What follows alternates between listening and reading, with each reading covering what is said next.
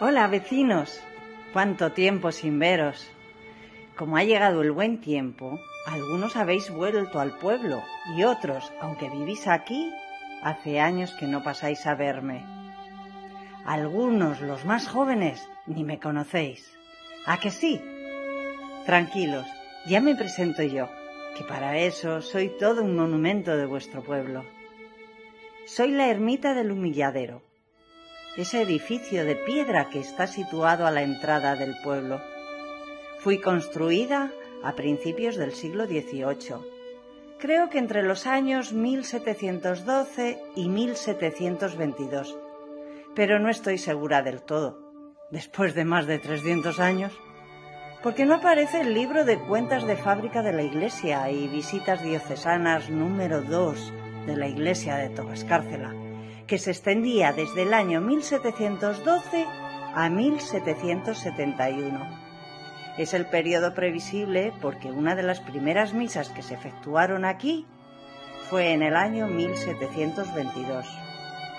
Al menos es la primera cita que recuerdo, y a partir de aquí los torrescarcelanos continuaron durante muchos años con la costumbre de oficiar la misa todos los viernes del año.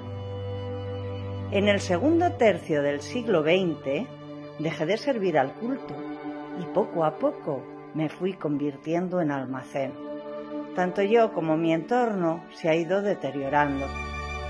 Echo de menos las visitas de la gente a adorar al Santo Cristo del Amparo, pero también el alboroto de los niños, que hasta mediados de los 90 ocuparan las escuelas y me dieran tan mala vida con balones y cantos. Y ahora que ya os he contado algo de mi historia, os pido ayuda para poder llevar a cabo mi reforma.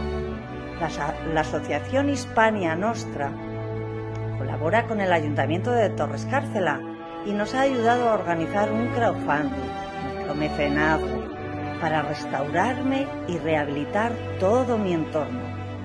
Y entonces pasaré de ser un monumento venido a almacén a todo un lugar de encuentro con nuestras raíces y nuestro pasado, porque el patrimonio representa las huellas vivas de nuestra cultura y si lo perdemos, nos perdemos a nosotros, vecinos.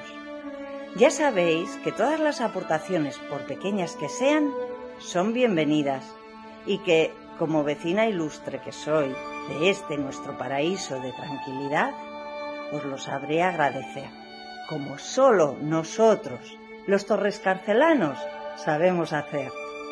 Muchas gracias.